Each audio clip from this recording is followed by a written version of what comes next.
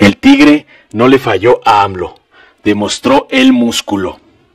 Una noche fría, de lluvia en la Ciudad de México, noche en que culminan jornadas agotadoras, donde todos los participantes en el proceso se muestran fatigados, pero satisfechos.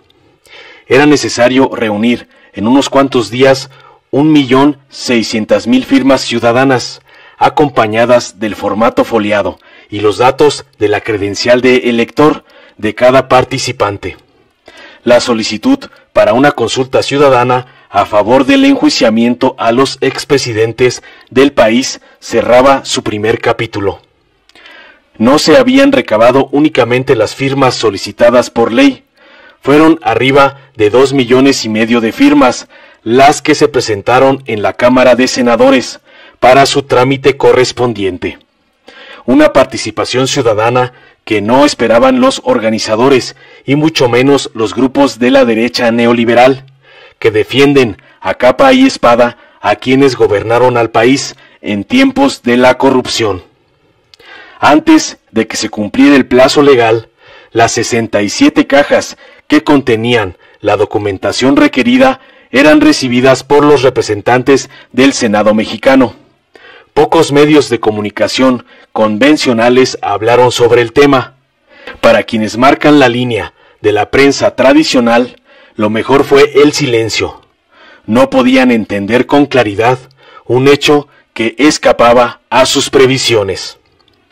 En diez días, el pueblo de México se había movilizado dentro de un esquema de organización mínima para demostrar a la clase conservadora que el tigre va por ellos en forma pacífica, ordenada y apegada a derecho.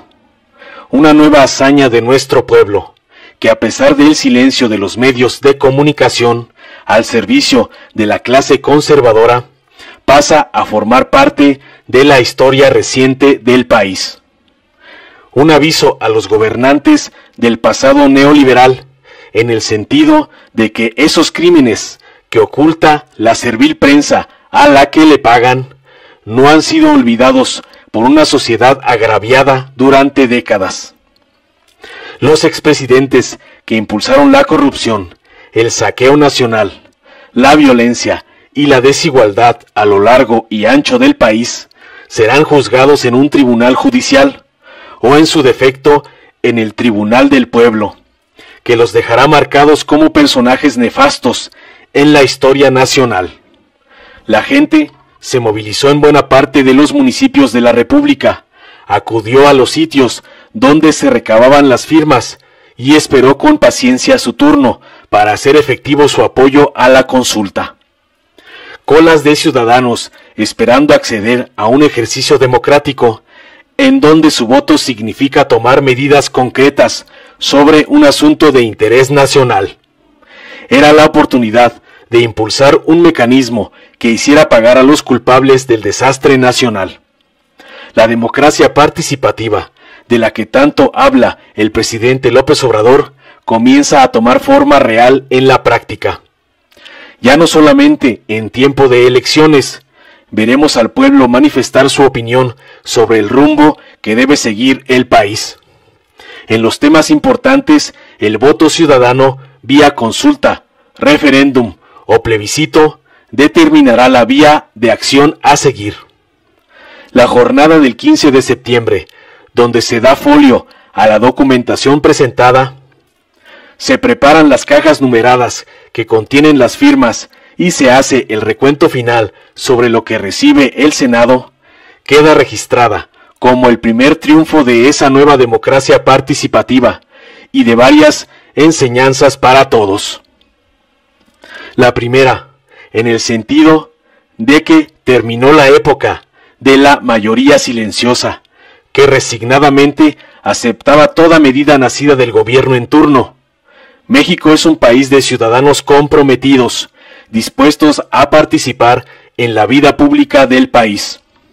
La segunda, que la movilización social es posible sin necesidad de gestores políticos que se apropien de las banderas del pueblo. En varias ocasiones se ha señalado en este espacio que la cuarta transformación es, antes que todo, pueblo. Solo el pueblo puede salvar al pueblo. La organización social es la herramienta que debe manejar una sociedad decidida a defender su democracia. Los políticos pueden venderse o fallar en los momentos decisivos, pero los ciudadanos responderán siempre por los intereses del pueblo en su conjunto. La tercera enseñanza es para las fuerzas opositoras que piensan que con engaños y mentiras pueden manipular a una sociedad que ha cambiado, sin que ellos al parecer se hayan enterado. El tigre mostró su músculo en este ejercicio cívico.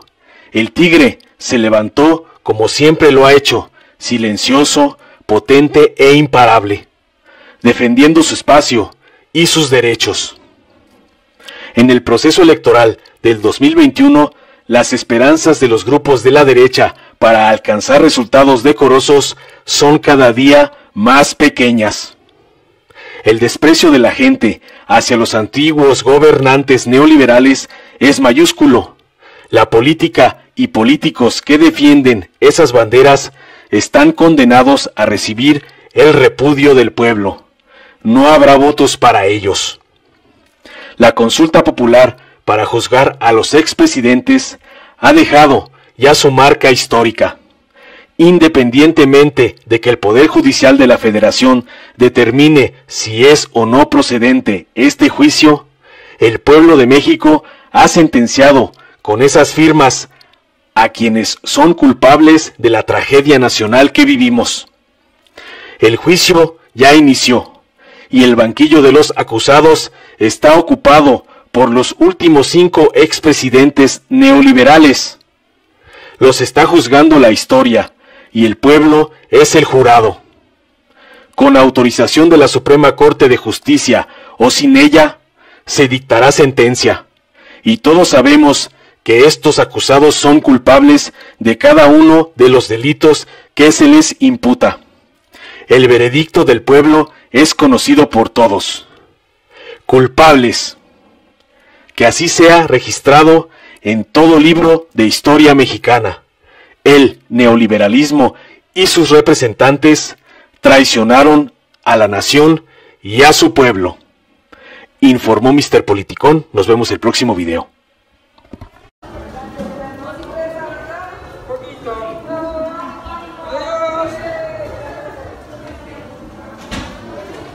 Esta es la última. Sana distancia, por favor. Permítanos, permítanos tantito. Permítanos. Yo no quisiera Flavio.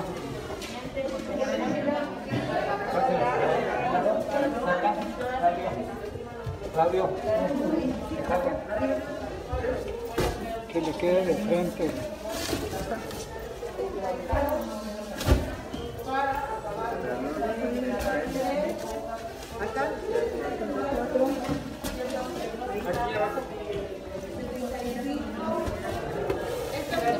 La.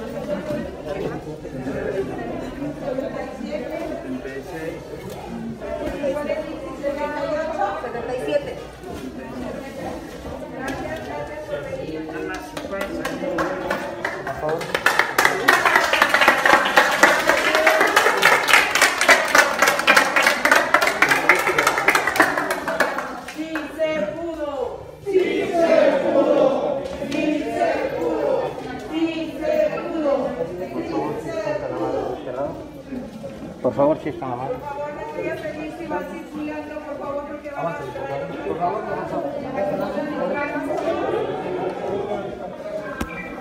Si te gustó, dale like, compártelo, suscríbete y activa la campanita para recibir las notificaciones de nuestro canal.